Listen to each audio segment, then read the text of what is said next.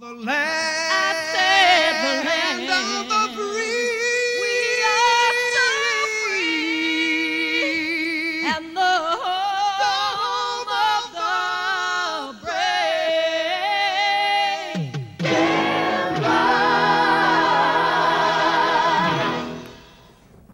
Welcome to Damn Right. I'm David Asman. Today at the Damn Right Diner, we continue with our look at corporate welfare. With us in the diner to talk about what can be done is Jim Spanfeller, publisher of Inc. magazine. Jim, good to see you again. Nice to be here. Before we get to Jim and your phone calls, Damn Right investigator Rich Lowry examines one of the sweetest deals politicians have made for the fat cats. The government doesn't take your money just through taxes. Take the U.S. sugar program, considered by critics to be one of the worst corporate giveaways going. The government, chiefly through import controls, works to keep the price of sugar about twice what it would be otherwise. That means increased prices for you at the supermarket. And guess what? Most of the benefits go to huge sugar growers already turning a profit.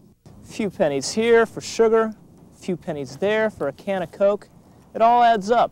The bill is $1.4 billion a year in higher prices for the American consumer.